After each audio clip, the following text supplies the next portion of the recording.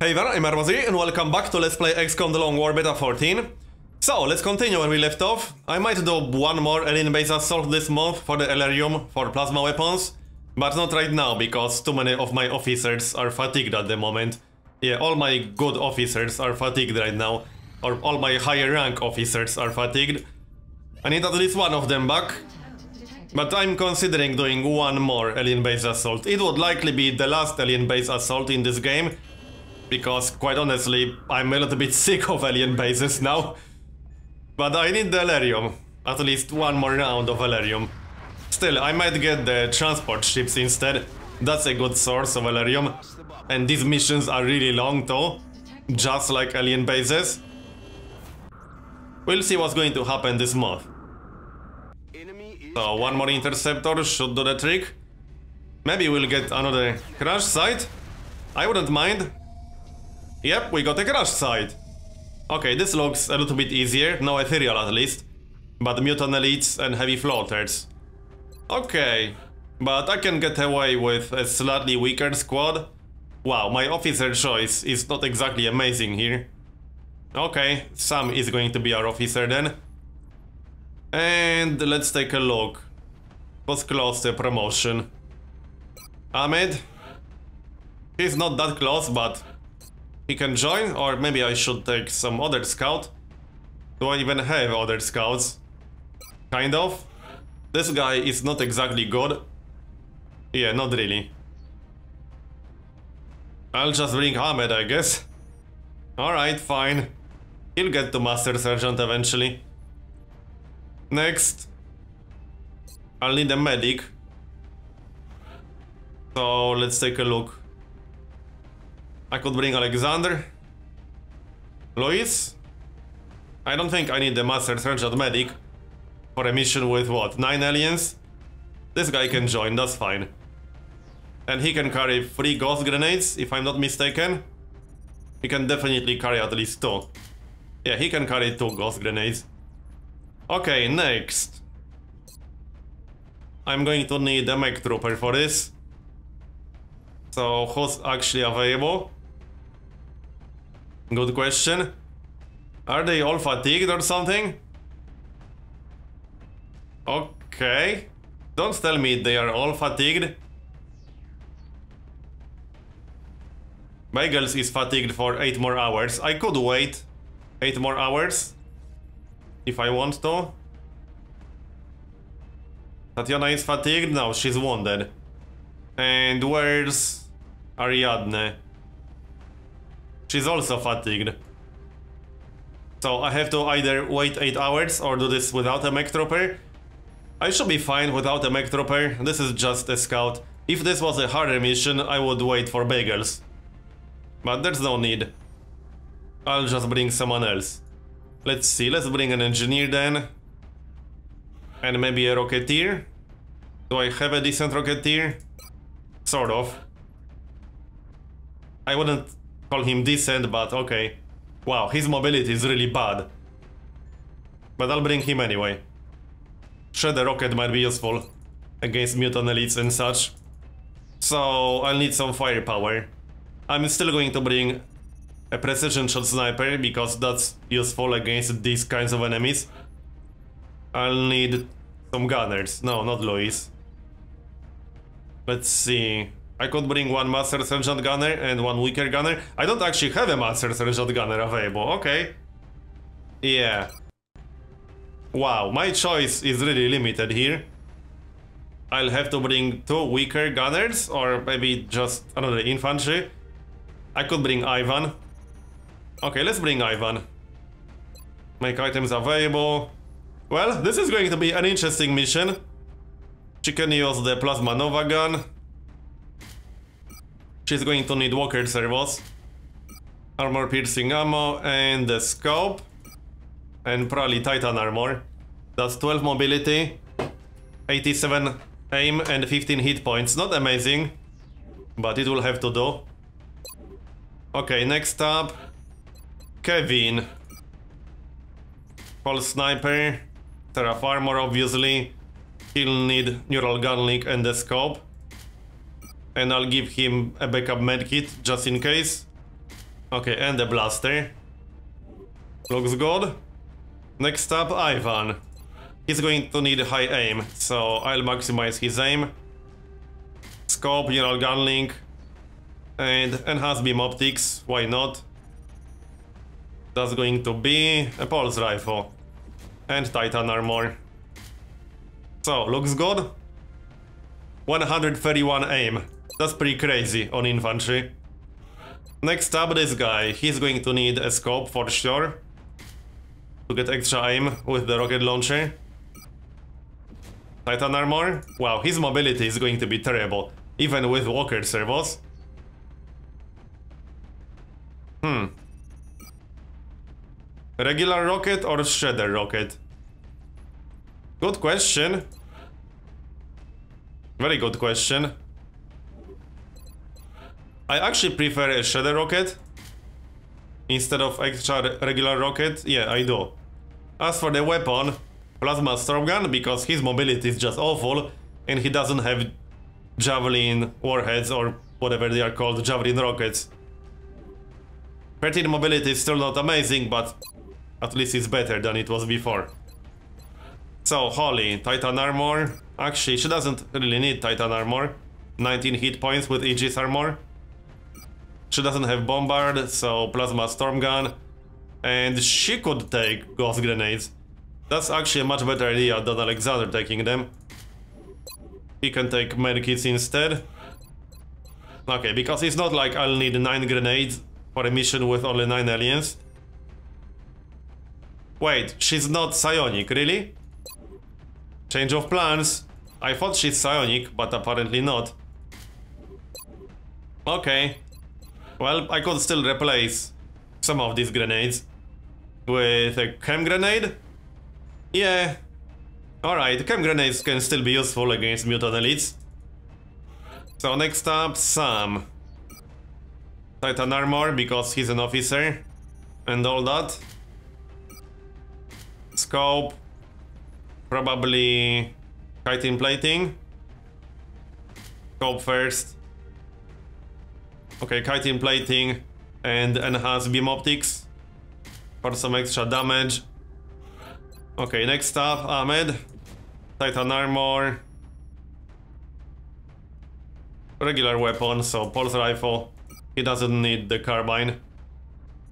I could give him the carbine, I suppose. Only 15 hit points, so chitin plating, scope, and what else? Some side grenades? Yeah, they might be useful. Especially with 18 mobility. So, Alexander. No Titan armor for him, unfortunately. So that kind of sucks. I don't have any more pulse rifles? Yeah, I do. Okay, he's going to be a little bit squishy. I'll need to be careful. Maybe I should steal Titan armor from someone. Like from Sam or something. He'll have 17 hit points with Titan armor. What about secondary heart? Does he have secondary heart? No, he doesn't. Okay, so I kind of want that Titan armor then. I can steal Titan armor from someone else. Or can I? I guess I can steal it from the Rocketeer? From Ivan?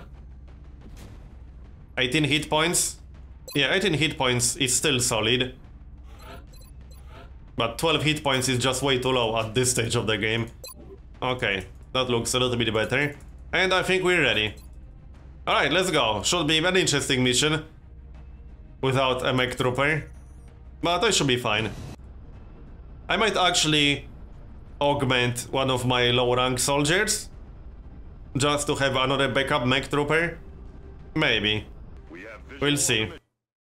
After the mission, obviously. Brazilian authorities have requested our help, so that's where we're going next. We've locked in the coordinates of the alien crash site. Fortunately, the civilian population... Well, let's get started. Come on. So, which map is this? Central, this is Big Sky. Strike one is Fairly open map. Copy, Big I like that. Strike one is clear to attempt the breach. So, toggle flight. Makes sense on this map. And Kevin can stay up here. Use steady weapon. Actually, let's not do that yet. Right, no mech trooper. I need to be a little bit more careful than usual. No aliens too close to us, that's good. Let's move over here. Just to scout around. See if there are any groups close. No. Looks safe. Alright, let's move then. You can go here. Some. This is the first mission in a very long time with two infantry. I don't even remember the last time I used two infantry. Steady weapon. Must have been really long time ago. Question is, how many muton elites and how many heavy floaters are there in this mission? I'm not sure which I prefer. More muton elites? Or more heavy floaters? They are both really dangerous for different reasons. No need to ask twice. I think I actually prefer to fight muton elites because you can destroy their cover then flank them. You can't really do that with heavy floaters unless they stay on the ground instead of flying. And heavy floaters with tactical sense and the bonus for flying are really really annoying to hit. So yeah, I actually prefer to fight muton elites than heavy floaters at this stage of Long War. And definitely do. So steady weapon Overwatch. Where's that closest group? Come on, show your ugly faces. Okay, they are ahead of me. That might be the command pod, because that pointed towards the UFO. Or they might be right next to the UFO. Roger that. I might have to move Kevin, because he might not get line of sight from where he is. Hmm. Yeah, I might have to move him. But let's move everyone else first. Like so. You can go here. And you can go here. And some. So do I want to move Kevin or stay here for now? I suppose he could stay here for now. I'm just not too excited about that idea. Oh, Holly. Where is she? No, surely moved. Overwatch.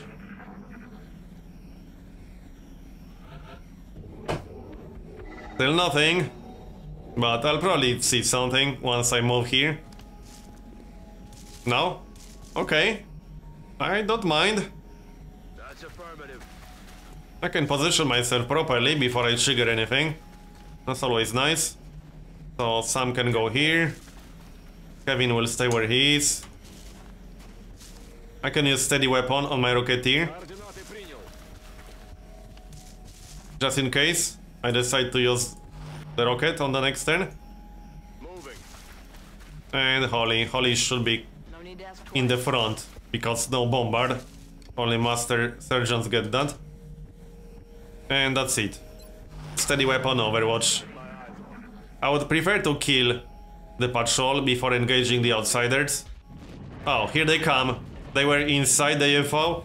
That happens sometimes. At least I didn't trigger the outsiders. Let's get some nice damage in. 13 damage, nice. Two infantry with the Overwatch build, or whatever you want to call it, are actually pretty good. Shame Sam didn't get any hits. But this is a pretty good target for a grenade and then Shredder rocket. I like that. Yeah, this will destroy cover for two different enemies. For two different muton elites. Maybe for three different muton elites for that guy in the back. Let's find out. Okay, now I can use a Shredder rocket and then do as much damage as possible. I like that idea. So, Shredder rocket. I'll hit the heavy floater too, but I mostly want to hit the mutons. 0.7 scatter because I used steady weapon. I should be able to kill these two muton elites easily. Maybe even the heavy floater too. We'll find out. Let's see, can Sam shoot anything? Yes, he can. Okay. He can shoot twice as long as he doesn't move. What about that heavy floater on the right? No. So 86%? Oh, this will be a kill. Maybe someone who needs experience can get that kill? Like my medic? Or Ahmed? Yeah, that's not a bad plan. Let's take a shot. 25% chance to get a kill? Nope. Okay, but I got holo targeting. Adjusting sights. Can my gunner shoot anything? She can shoot the heavy floater, probably. Maybe I should suppress that heavy floater because I can't kill it. I'll decide later. So, take a shot with my medic. I could also use a ghost grenade or a smoke grenade. That's probably a better idea. If I use a smoke grenade, they will probably throw some grenades, and that's fine. I'm mostly using indestructible cover. Ivan can't shoot from back here, unfortunately. He will have to move. Alright, let's move. 100%. Okay, that's better. Also 88% on that heavy floater. I still want to get a kill on someone who actually needs experience, but that's not going to happen from the looks of it. And I still got Kevin, and Kevin has double tap. So... And I have precision shot. I could actually target this heavy floater. I might be able to kill the heavy floater and both muton elites. Okay, 15 critical. Now I can take a shot with my gunner. That's only 47%, but that's almost a coin flip. It's not totally terrible. Nope, that's a miss. I have no idea what she was aiming at, but not at the heavy floater. I could let my medic take a shot, but that's a little bit risky. I wanted to use that smoke grenade. Alright, let's not take any shots yet. I'll take a shot with Ivan. No, I'll take a shot with Sam first. Ivan has higher aim. 96%, 86%. Well, I need to kill this muton elite one way or the other. So that's a kill. No longer a threat. I got one more shot. So... Shoot the other muton elite. Oh, that's a kill. Nice. How much damage was that? Oh yeah, 19 critical. So 88%. The heavy floater is also shredded. So this should be nice damage. It won't be a kill. But that's the only target I got. Okay, 9 damage, I'll take it. Now I could shoot the heavy floater with Kevin, or I could shoot this one. I'm still considering taking a shot with my medic. Then I can use disabling shot. I think I'll do it. I can still use disabling shot on the other heavy floater. Oh, this is only 34%. Probably not worth it then. Alright, I'll kill that heavy floater then. And throw a smoke grenade. Sounds good to me. So, smoke grenade. Like this. Sam and Ivan will be fine. Now the heavy floater will either throw a grenade or he will shoot Sam. Because Sam is the easiest target. The muton will shoot Ivan. Okay, 10 damage. What is the heavy floater going to do? Yeah, just shot Ivan. Okay. He did have full cover. But that was quite a lot of damage. Now, how do I want to start this? I can flank that heavy floater. But if I move like this, I might trigger the outsiders. That would be bad. Let's not do that. Yeah, that would be really bad. I'll just shoot the muton elite. Yeah, okay, let's shoot the muton elite. Nice, 12 critical. Can I kill both? I should be able to. 88%. Ivan's aim is just insane. I should use him more often or something. Okay, 8 damage. Now I can take a shot with my medic or something. Nope, only 27%. I should heal Ivan then. Who can get a kill? 41? I could just fire a rocket. 41% is low. Who else needs experience here? My scout needs experience. 48%? Nope, that's a miss. Okay. Oh, I can take a shot from all the way back here. 57. And that's a miss again. Really? I realized that wasn't very high chance to hit, but that's quite a few misses now. 51%. How many times can I miss? Okay, that's a kill. At least I got experience for someone who needed it. What about that muton elite then? I probably can't kill the muton elite now. Although... No, I missed the first one. I'll just hunker down now. No, I can't hunker down anymore, right? Can I do something about that muton elite? Maybe, maybe not. I can take one more shot, but that's about it. I can suppress him. That's kind of useful. I can't kill him, so might as well suppress him then. He might still move, but that will give me a shot.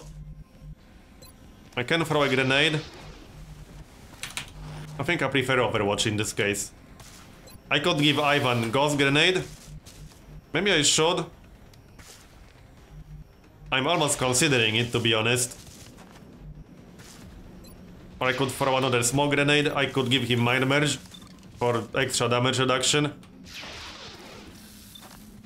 Feels like a waste of a Ghost Grenade. It definitely does. But it's the safest thing to do. Alright, I'll use the Ghost Grenade. There's only one Muton Elite and two Outsiders left in this mission. So saving that Ghost Grenade doesn't actually make any sense. Done. So what is he going to do? He must be confused about life, being suppressed by an invisible soldier. Alright, he's on Overwatch now. So I should probably trigger that then. By moving my scout. If I dash like this, I shouldn't trigger the outsiders. Okay, this will trigger the reaction shot. Then I can just throw a grenade with Holly All you got? and kill the muton. And then I can take care of the outsiders. Alright, let's do it then. I'll throw the grenade first. This should be an easy kill. That's affirmative. This will be a guaranteed kill, so I can afford to move like this. I want to destroy that cover. Oh, there is something inside. There's a heavy floater inside, okay. No, that's a muton inside. Interesting. I totally missed that guy. But I'm still fine. Let's kill that muton. Who wants a kill? This guy? 63%, 60% chance to crit. I'll take a shot anyway. That's a kill. Okay, good. Now, Muton Elite. I still want to heal Ivan. So... I need to move him to actually do that. I don't have paramedic on this guy, so I can only heal once per turn. Like this. Okay, reload. This will be the reload turn, I suppose. Reload. Kevin needs to reload as well. And the turn is done. So, one more heavy floater, and, I mean, one more muton. And two outsiders, I think. And he ran away. Okay. Hmm. If I move like this, I'm just going to trigger the outsiders. Which I don't necessarily want to do, but I might have to. Let's reload everything first. And move a little bit closer. I can heal Ivan one more time if I want to. I guess I should. Then I'll position Ivan and Sam right next to the force field, then open the force field. And get Holly a little bit closer, I suppose. So you can move here. Here they come. Oh, great. They saw me when I moved. Alright, that's still fine. Watch the flanks. What can I do then? I could use Mind Fray. No, that's 0%. I can use the rocket. I can actually kill one. Yeah, I can kill one. I can throw a grenade first. Or even use a rocket launcher. But a grenade will be better. Just need to be careful about where I move. Let's move here, then I'll throw a grenade. Destroy his cover. Yeah, this one will die for sure, guaranteed. I might even be able to kill the other one, but probably not. Alright, so this is a guaranteed kill, more or less, even if I miss terribly. I do have precision shot. I'm just trying to figure out if I can get a kill for someone who needs experience. Probably not. Well, let's do it like this then. I'll take a regular shot. So that's 10 critical. I do have double tap. Now I'll take a shot with my Rocketeer. That's 61% chance to get a kill. And that's a kill. Nice. So that's another kill for this guy. And now I can use precision shot. No, I can't use precision shot. Right, I can't actually see that on the outsider. Kevin doesn't have line of sight to the outsider. That's interesting. Alright, whatever you say. That muton is still in the back. I did not forget about that. Reaction shot. Now, the outsider might actually hit someone because their aim is ridiculously high. But he would have to get a crit to actually kill someone. Oh yeah, he's flanking me, isn't he? More reaction shots. That's a kill. I got pretty lucky there, I suppose. But I had enough hit points to survive that. 19 hit points. So, Muton. Where's that Muton? I'll move in with my scout first. In case he's on Overwatch. Visual on the good. He's not on Overwatch. The meld is still there. Now I can use precision shot. Unless I don't have line of sight. I do have line of sight. Okay, 85% chance to crit. Then I can try to get a kill for my scout. It just needs to hit. 75% chance to get a kill. What? Really? 6 damage? Come on, dude. Well, never mind. I'll just get a kill for Kevin. He's done. I don't think I got any promotions from this, but the mission is done. I got some decent experience for my Rocketeer, and I don't use Rocketeers very often. Not that they are bad, but they are a bit of a one-trick pony. And if that trick doesn't work very well for whatever reason, they aren't very useful. It's always good for morale when everyone makes it home. How much Elerium? Not a whole lot, but every little bit helps. Let's finish precision plasma weapons. Also, did I start making another cyber suit just to have a backup? No, but I should do that. You know, just in case one of my mech troopers actually gets killed. And in the late game, there are a lot of enemies with HEAT ammo, with incredibly high damage. So I will make another cyber suit just in case I lose mine. In beta 15, it will be possible to reclaim a cyber suit and rebuild it. But right now, if you lose a mech trooper, you will generally lose the cyber suit too. So I need to have a backup cyber suit. I could get... Uh, what was it? Some mech trooper items made. Some of the items that I don't have. electro Electropulse. Or maybe the proximity mine launcher. It's very very cheap. So I'll make this just as backup. 20 meld kind of hurts, but whatever. Electropulse is a little bit more expensive. I think I'll pass on that for now. Anything else? Oh, I could make one item for a shiv if I decide to use it again. Damage control pod. And stack that with core armoring, which gives them resilience. My alloy shiv is available again.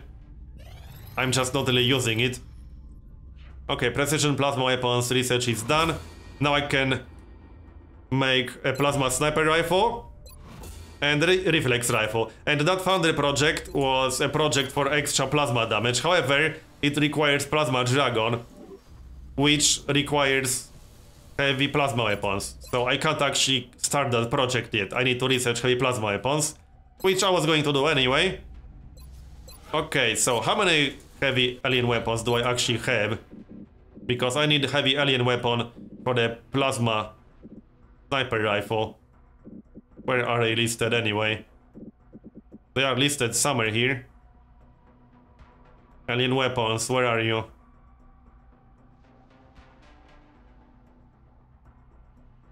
Somewhere down here?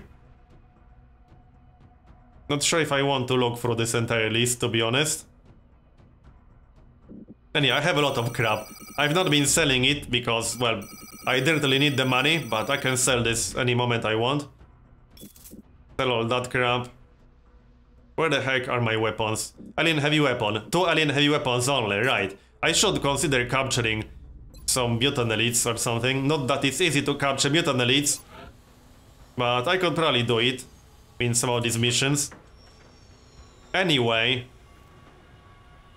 plasma sniper rifle for sure. And I'll save the other heavy weapon for a plasma dragon. I'm going to need at least one more heavy alien weapon because I'll need one plasma dragon for the foundry project. And then I'll need one more plasma dragon to actually use it. Okay, plasma sniper rifle, that uses heavy weapon. The reflex rifle uses regular alien rifles, so... Yeah, like this. This is a scout sniper weapon. I've not been using these weapons, but I'm going to start, because this is a significant damage upgrade for my scouts, so that's mostly the reason why.